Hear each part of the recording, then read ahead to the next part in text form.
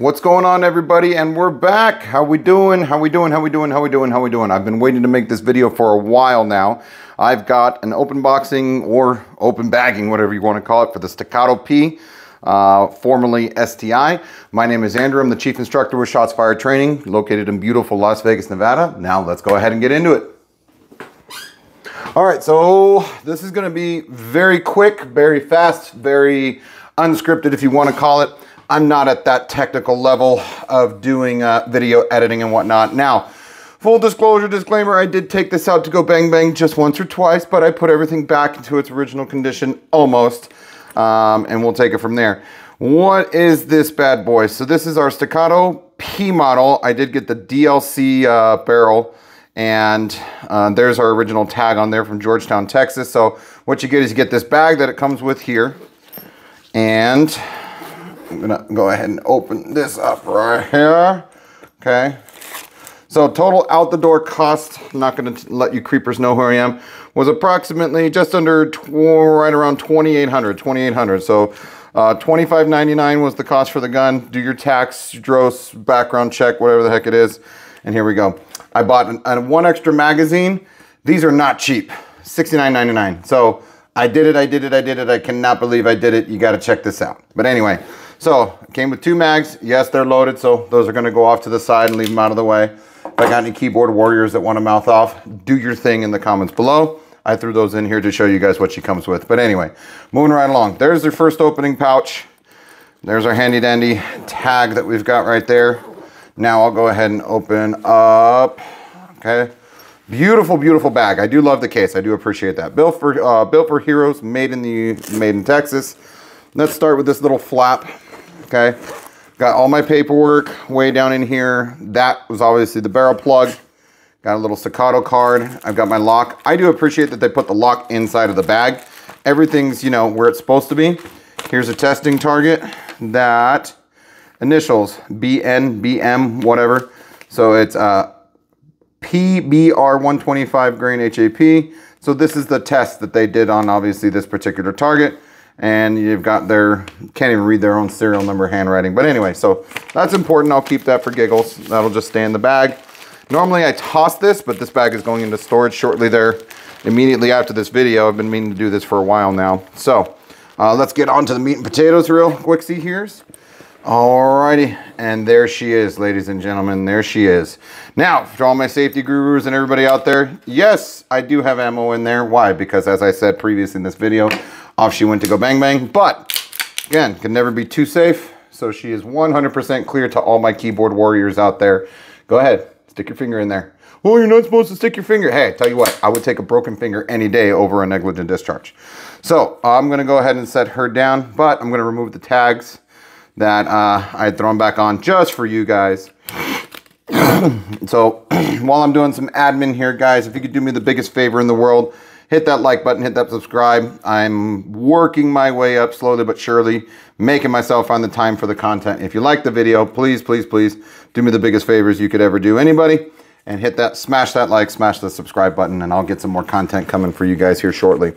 So, um, as it says in the intro of the video, I did it. I did it. I did it. I did it. I bought a staccato. Now, I remember when the STIs came out and I wasn't overly, if you want to call it, I wasn't sold 100%. I was not jumping on the bandwagon right off the get. I've been a Glock fanboy for quite some time and I did not see a necessity to go over to the STI just at that time. However, along my journey of firearms instruction, one as an instructor and as a trainer, I found myself wanting higher degrees of uh, accuracy on my own targets. So whether it be 50 yards, whether it be uh, a five inch plate at 50 yards on a, such as a hostage five inch swivel plate at 50 yards, I wanted more accuracy. Well, what was I running before? There is never, in my opinion, there's never a good video without a comparison. So here is Edward. Yes, Edward. My wife named it.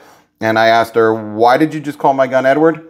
And she said, because it sparkles in the sunlight like Edward on Twilight. And I thought, oh my God. Well, ladies and gentlemen, I'll introduce you to my G35. that I had Cerakoted in uh, burnt bronze. And I will, at some point, I'm going to do a video on why I will never Cerakote another gun. So long as I live, I just will never Cerakote another gun unless it was the external components of a rifle. I've got my reasons. Once I get around to figuring out how to do a little bit of editing and whatnot, I'm going to point my finger up here to my future self. Hey, future self, post why you never Cerakote your gun here. But anyway, so one more time for my safety gurus out there. Put your finger in there, take your pinion, do you boo boo. So, and she's empty. One more time. Okay, we're clear. I'm happy. Ammo's uh, away from everybody, especially the crown eaters.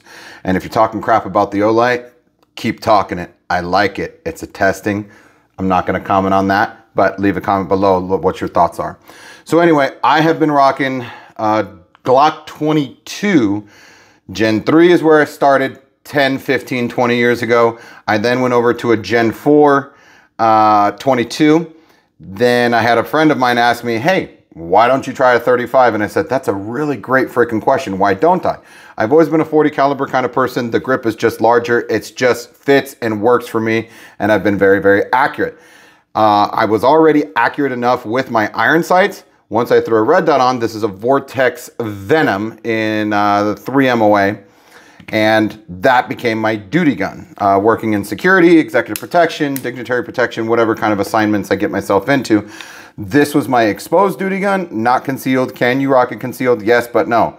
So I wanted more accuracy. Well, a lot of the questions that were asked, I'm gonna take this and just set her down there set my Safariland level 3 off to the side. A lot of questions were asked, well, why didn't you just go with the infamous Glock 34? And I said, okay, well, not a problem. I did. Out of the box, the Glock 34 is just an absolute amazing, amazing, amazing, amazing gun. 9 millimeter long slide, almost identical to the 35. I got an Acro P1. I do have a P2 coming up. Surefire X300, non, not the U model. However, why wouldn't I go from this to this if I was willing to go to 9 mil? I said, well, I like the 40 caliber round, nothing against the 9 mil. I was just used to and comfortable with the 40 caliber round. I threw this red dot, uh, the Acro on the 34 on the range, just on the fly. Brand new 34. Everything was brand new. Just pulled it out of the box, put it on on the range, and I hit a five inch steel plate at 50 yards all day long. I just didn't jive with the 34 in its capacity. I just said to myself, if I'm going to stick to a Glock, why not stay with where I'm at?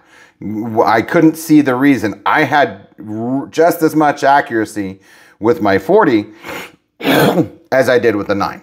Now, this is brand new. I've got at minimum, you know, 10,000 plus rounds already changed the recoil spring once through here, which again, I will explain in a later video. I will never Cerakote my gun again for various reasons. So what got me, and I'm going to explain this in detail, this is meant to be more of an open box, but hopefully you guys are following with me. The video is not a video without a comparison, where you came from, where we started, where we, where we began, where we want to get to, where we are, and how we're going to get to where we want to get to. I wanted more accuracy. End of story. So uh, I went from a Glock 22 Gen 4 that I was carrying for years and years and years. Went to the G35, loved my accuracy on a G35, just absolutely phenomenal. 25 yards, I'll be hitting a group about this big all day long, not a problem, with or without a red dot, respectively. Okay, and that's a pretty bold statement right there. Uh, tried the 34, said ah, I wasn't getting it. But to bite the price tag on practically a $2,800 gun, $2,700 at the P model, any other model other than this, uh, this, the, this is the P and the CS particularly are the ones that uh, are in that $2,500 price range. Now, right from the get-go, the price comparison point between a staccato and a Glock is just not, it's just not the same. It's not the same in any way, shape, or form. I even went to the degree of trying a STI, or not even an STI, but more or less Enter new toy. Shadow Systems 9 DR920L, just for giggles. If I ever figure out how to do that video thing, I'll leave a video for the DR920L coming up here as soon as I can. So I tried going to a 9 mil. My effort to transition to a 9 mil from the G35 was the Shadow Systems DR920L. did not work out in any way for me. Nope, not gonna happen. She's in the back burner. I did in order, I had the G30, G22 to 35, 35 to 34, tried it, said, eh, don't like it. But this was my largest attempt to try and go back to that 9 mil for the higher capacity. It was not a Glock. was trying to get away from the Glock fanboyism. Otherwise, you know, whatever have you. Now, on this particular gun, for the G35, I do have a Haley Strategic trigger. All Glock OEM parts. It's a $25, $20 Magwell. And, I, and for those of you who have a Glock, the $20 Magwell from Magpul is 100% worth it. Uh, quick disclaimer, if you don't know, if you know, you know. Well, if you're gonna talk crap, do it in the comments below, you keyboard warriors. Uh, not sponsored by anybody. I bought all these with my own money. I am a firearms instructor, so this is kind of what I do for the giggles. Uh, anyway, so I've upgraded the trigger. I've got a red dot. I've got, who are these? What is his name? Oh, dear Lord. I know, I know. Dawson Precision. There we go. Dawson Precision, 100% blacked out front, blacked out rear.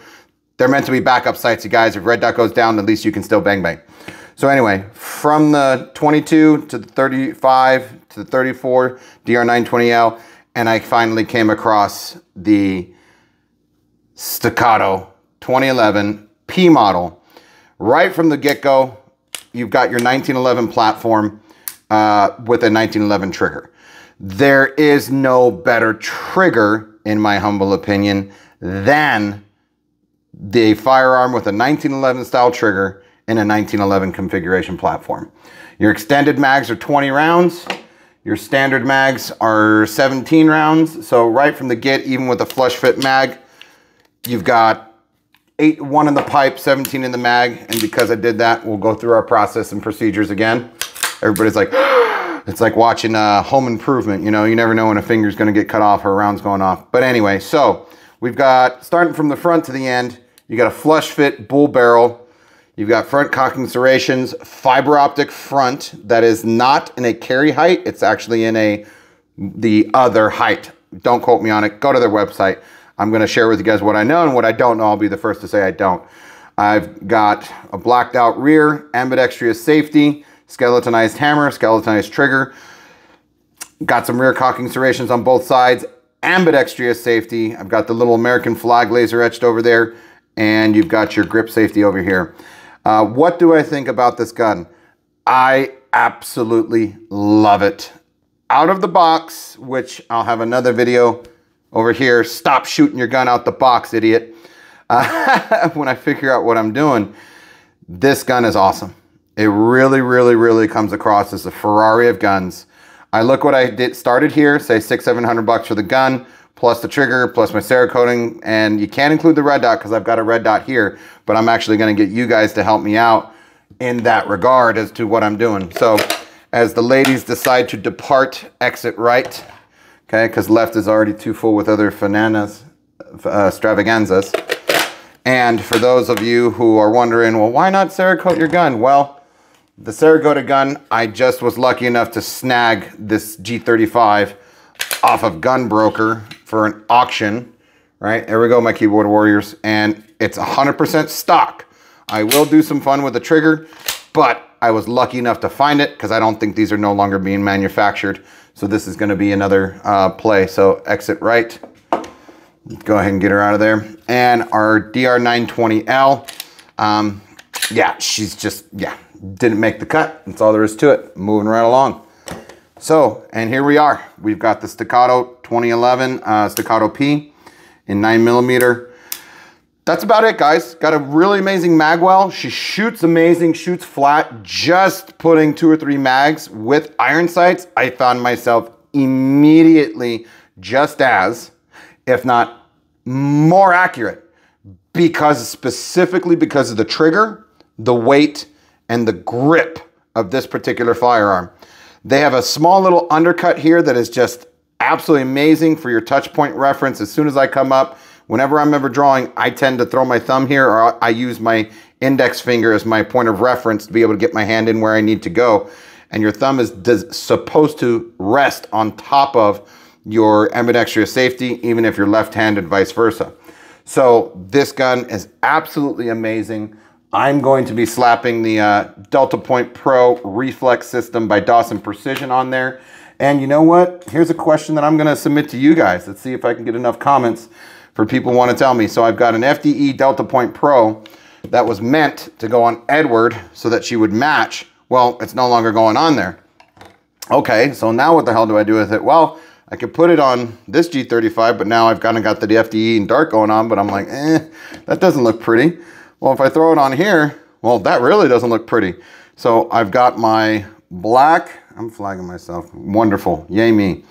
Uh, I have my black Leupold Delta Point Pro, or I've got the FDE Delta Point Pro. But I'd love to know what you guys would think aesthetically. If you think it would be nicer with the FDE or with the black. Go ahead and let me know in the comments below, you guys. Other than that, if you have any questions, feel free to ask. I'm going to have some more videos coming out, uh, not only on some things that you might have seen in this video as is, but uh, if you have any questions, let me know. If you guys like the video, please again, hit that like, hit that subscribe button. It is 100% worth the price. And I'm probably gonna slowly but surely, I'll get down the line. Now, do I recommend this firearm? 100% yes. If you consider yourself to be an intermediate to advanced shooter that wants to be able to take your skills to the limit the Staccato P will 100% get there. If you're brand new and you're new to the shooting industry, to the shooting sport, do not buy this gun unless money's no object. But even then, do not buy this gun. If you're new to the industry, do not buy this firearm. You're not going to know what you're what you're getting yourself into per se. Not persuading anybody away from it. Now, yeah, on the same side, it's so subjective. It can be difficult if you want to buy one and done, like, hey, I just want a gun for home protection. I'm never going to buy another gun for the rest of my life. Do it. Go for it. But it's application, application, application. So let me know what you guys thinks in the comment below. Yes, I said that. Let me know what you guys thinks in the comment below. And we will rock and roll from then. Until next time, you guys, stay safe, carry safe. And uh, we'll see you guys in the next episode of whatever it is that I call it that I'm doing. All right, guys. Thanks again. Much appreciated.